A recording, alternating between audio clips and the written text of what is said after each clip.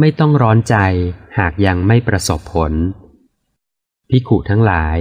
กิจที่ควรรีบด่วนทำของขหาบดีชาวนาสามอย่างเหล่านี้สามอย่างเป็นอย่างไร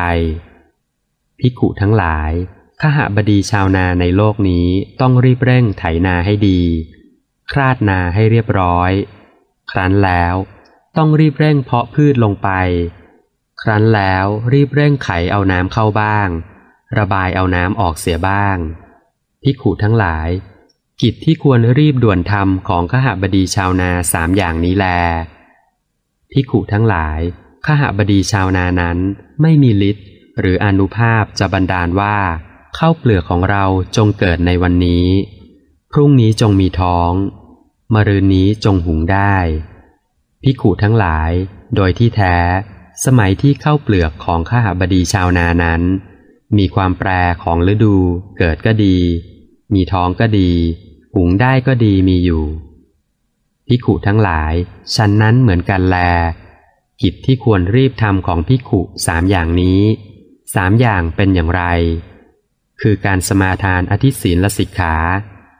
คือการปฏิบัติในศีลอันยิ่ง การสมาทานอธิจิตตสิกขา คือการปฏิบัติในจิตอันยิ่ง การสมาทานอธิปัญญาสิกขา คือการปฏิบัติในปัญญาอันยิ่ง พิขุทั้งหลาย กิจที่ควรรีบด่วนทำของพิขุสามอย่างเหล่านี้แล พิขุทั้งหลาย พิขุนั้นไม่มีฤทธิ์หรืออนุภาพที่จะบันดาลว่า จิตของเราจงพ้นจากอาสวะทั้งหลาย เพราะไม่ถือมั่นด้วยอุปาทานในวันนี้แหละ หรือมิฉะนั้นก็ในวันพรุ่งนี้ หรือในวันมะรืนนี้พิขุทั้งหลาย โดยที่แท้ สมัยที่จิตของพิขุนั้น ผู้ศึกษาอธิศีลอยู่ก็ดี ผู้ศึกษาอธิจิตอยู่ก็ดี ผู้ศึกษาอธิปัญญาอยู่ก็ดี หลุดพ้นจากอาสวะทั้งหลาย เพราะไม่ถือมั่นมีอยู่ เพราะเหตุนั้นแหละพิกุทั้งหลาย เธอทั้งหลายพึงศึกษาอย่างนี้ว่า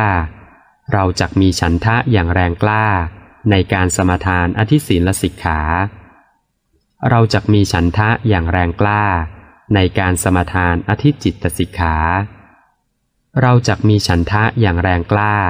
ในการสมทานอธิปัญญาสิกขา